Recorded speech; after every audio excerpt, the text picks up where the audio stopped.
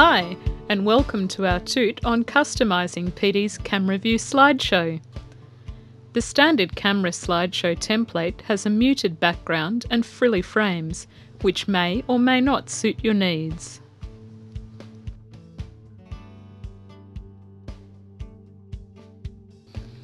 Those background and frames are stored in the Camera Slideshow folder. If we go to Start, Computer, C Drive, Program Files, Cyberlink, Power Director, Slideshow and Camera View, we can see the image files.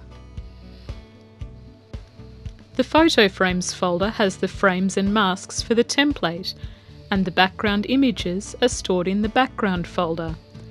We need to know that to be able to customise the template.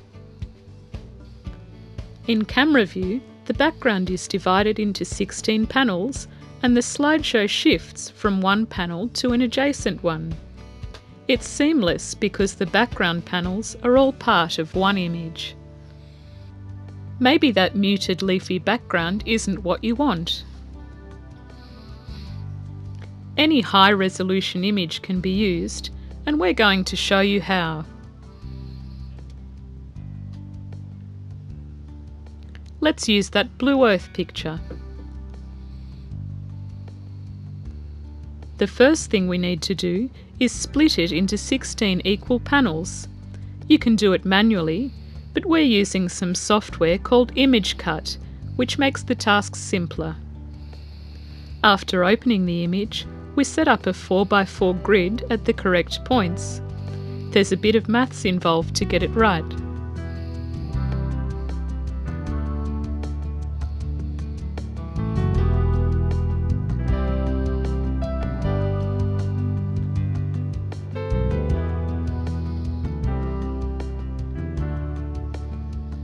Now the picture is ready to be split into panels.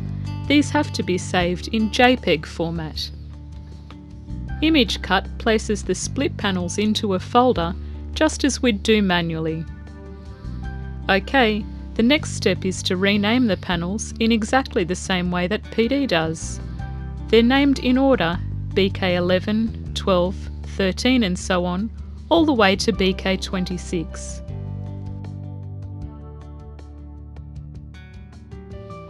To replicate PD's template, BK11 has to be duplicated and renamed to 0 BK11.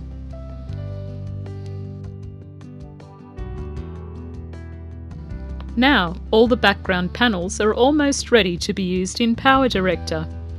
The only thing left to do is rename the containing folder to Background. That's done and we're ready to put our folder where it belongs. We navigate to that camera view folder inside the PD slideshow folder, then copy our new background folder and paste it with the other camera view files.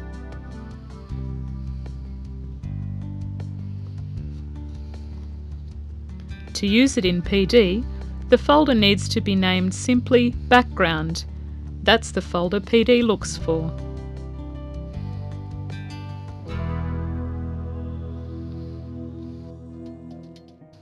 Great, let's try it out in PD. After importing and inserting the images, select them and click Slideshow. Then Camera. PD generates a slideshow using our new background panels. Tweaking it is easy. Just click Customize.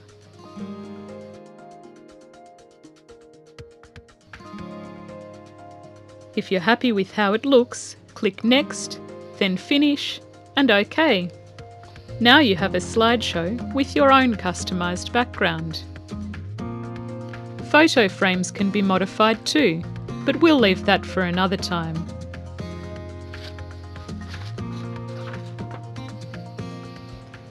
Here are some examples of camera view slideshows made using custom backgrounds.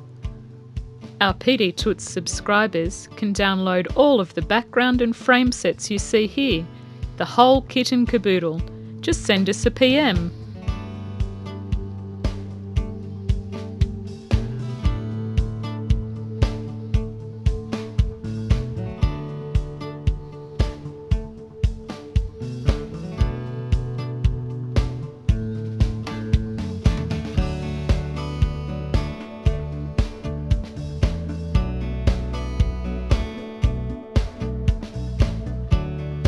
The names displayed here are the same as in the subscribers giveaway package.